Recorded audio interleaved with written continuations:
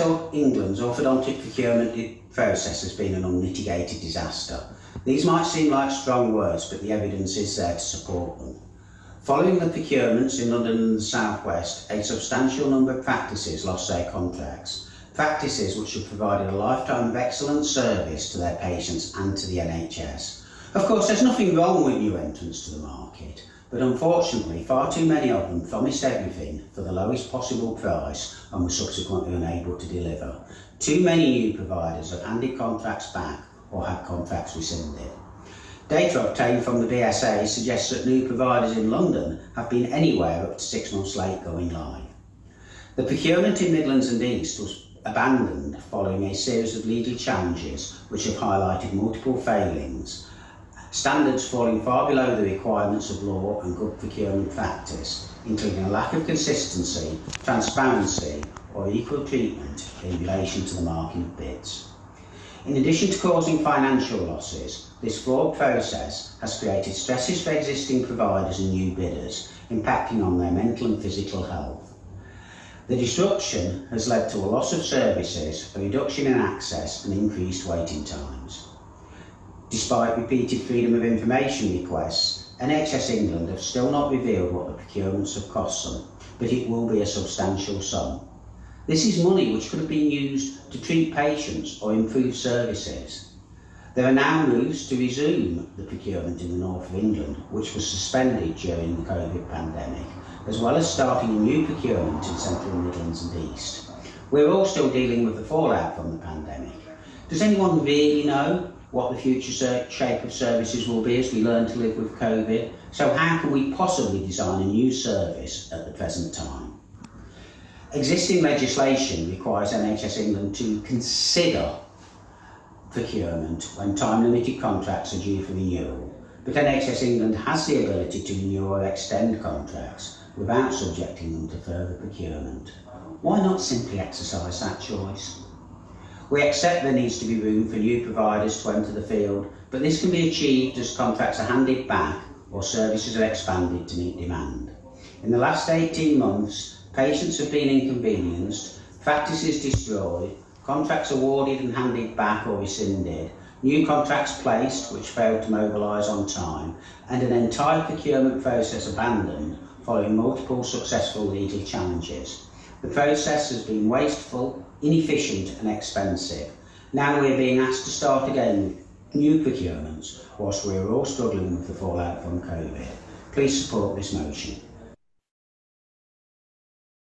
Okie dokie. So do we have anybody who would like to speak to that motion, please?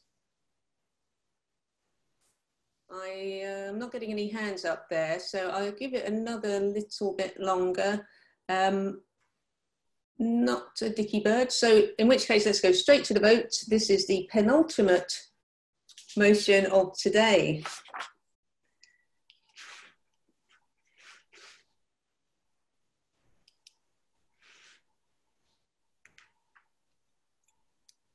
They're coming in, Leah. Good. Oh. Is everyone getting quicker near the end?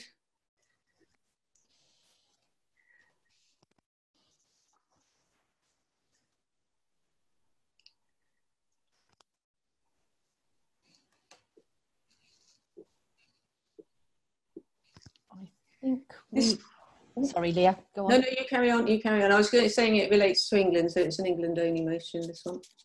I think we are there. That motion is carried.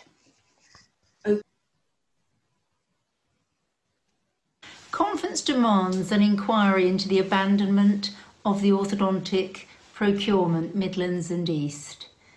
The aim of procurement is meet the minimum economically achievable tender, value for money, quality at a reduced cost, low risk for commissioners, low or no risk for, of legal challenges, or the costs and risks falling to the bidder. The cost to the average practitioner is high, 10 to 30,000 pounds conservatively per bid. There's no detailed data available of the commissioner's cost. It's been an expensive exercise. It's not produced value for money. It's not delivered more activity and it's removed patient's choice. The cost savings? None. The race to the bottom by the weighted scoring of UOA values means increased costs, lower margins, compr- compr- compromise the viability of contracts, some of which have already been handed back.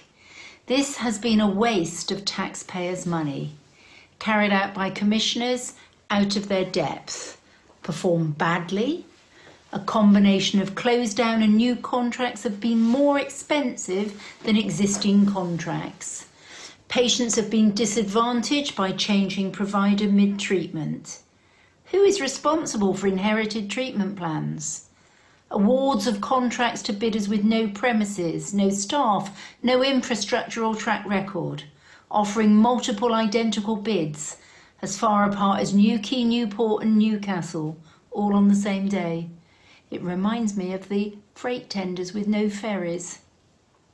The credibility of the whole fiasco, with evidence of inconsistent scoring and marking, identical bids attracting different scores, resulting in different outcomes in different lot areas. The only successful appeal? An area team postcode error. The robustness is questionable, the waste of resources, resulting in clawback, collapse, poor continuity of patients' care. The pressure and mental health impact on all bidders, new and existing, has been immense and knocked the resilience of many with no measurable benefit to patients. I ask conference to support the demand for an independent inquiry. Thank you. Thank you. Very clear.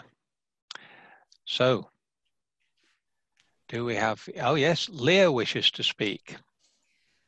Hi, Stuart. Yes, no, I was going to speak. I've been trying to come in, and you're doing such a great job. You're on a roll there. I'm not speaking to Okay. this motion, but I'm saying you can you can have a rest now. I'll take over from here if you like. Okay, right. Please do. Okay, so uh, do we have any speakers to this motion?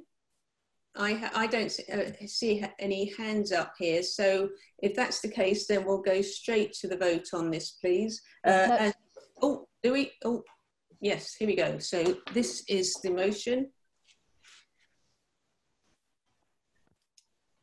And Binal, if you could keep me posted on how things are going there. I will do. I will do. Lovely. Lovely. Because right, okay, I, I will. Uh, I won't interrupt you all while you're thinking.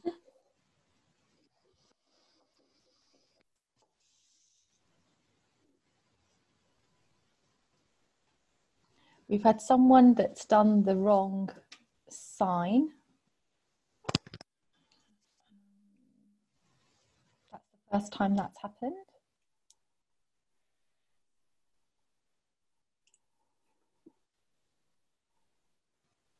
Someone has pressed the go faster sign. I don't know whether that's a hint or whether it was just the wrong one. So I don't know if you want me to call you out, but if you could just look at your vote again, fantastic. You've corrected it. Wonderful. Okay. That has been carried, Leah. Okay, right. In which case, we'll move on